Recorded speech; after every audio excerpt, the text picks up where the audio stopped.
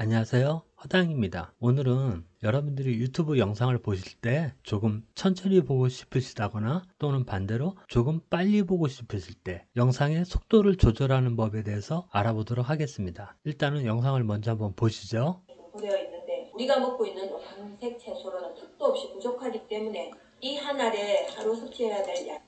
지금 이 영상에서 조금 천천히 재생되도록 해보겠습니다. 자, 오른쪽 위에 톱니바퀴 눌러주시고요. 네, 중간에 보면 재생 속도라고 보이시죠? 네, 여기 재생 속도 클릭 그러면 중간에 일반으로 되어 있고 여기 일반에 체크가 되어 있어요. 음, 보통은 다 기본으로 이렇게 되어 있고요.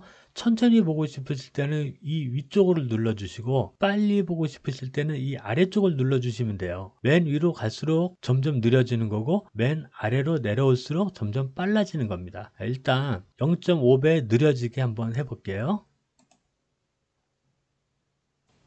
음, 물과 함께 섭취하는 거라서 어렵지 않고요. 그리고 꾸준하게만 드실 수 자, 0.5배, 그러니까 절반 정도 느려지게 한 건데도 상당히 많이 느려졌죠. 이렇게 속도를 늦출 수 있는 방법이 있고요. 반대로 이번에는 속도를 빠르게 한번 해볼게요. 중간에 재생 속도 클릭하시고요. 음, 저는 이번에는 1.5배 빨라지게 한번 해볼게요.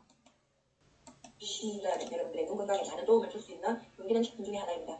근데 이 아이는 의약품이 아니에요. 의약품이라 할지라도 마취제나 진통제가 아닌 이상은 한 번 먹고 두 번 먹고 세 번 먹는다고 해서 자, 어떠세요? 차이가 확 느껴지시죠? 이렇게 천천히 보고 싶으실 때나 반대로 빨리 보고 싶으실 때 이 기능을 이용하시면 될 것 같아요. 오늘도 여러분들에게 조금이나마 도움이 되었으면 좋겠습니다.